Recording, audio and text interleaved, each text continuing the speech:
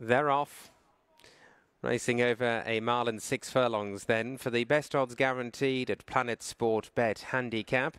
Cool Party, the red jacket. Now the mount of Joe Fanning jumps away with Robusto to be the first two in that order as they complete their first quarter mile or so, followed through by Dreams Fled Away in the red sleeves moving up and racing a little bit enthusiastically in the early strides. Back against the rail.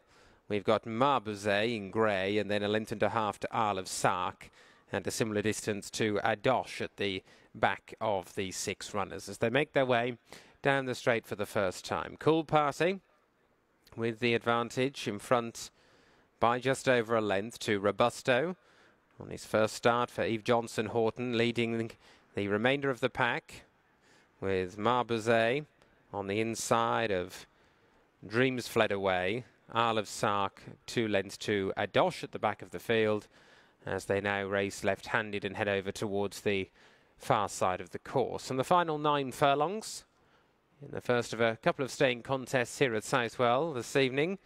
And Cool Party, who's been in the first four on all of his four starts on the artificial surfaces, including a win at Wolverhampton, takes them down the back straight with a lead of a length. Robusto in second is half a length in front of Marbuzet on the running rail in third. Similar distance to Isle of Sark, who was demoted, having been first past the post here last month, but continues in good form. And Adosh has moved through under Cam Hardy to match strides with Dreams Fled Away, who's having his first outing for trainer Barry Brennan tonight, having won twice already at Dundalk over a mile and a half this year.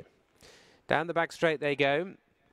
They're through halfway and they're about to swing left-handed with about five furlongs left to cover.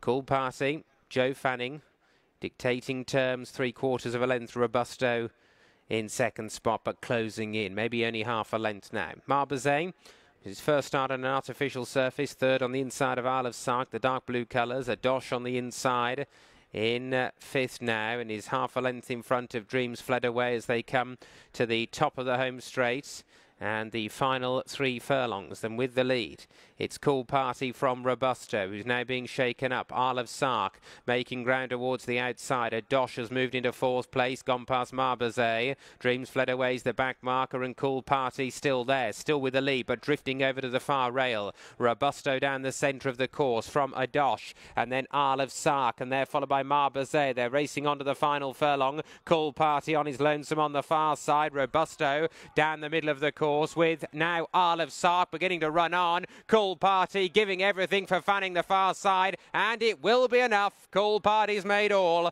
In second was Robusto, third was Isle of Sark, Adosh fourth, and then Marbuzet and Dreams fled away.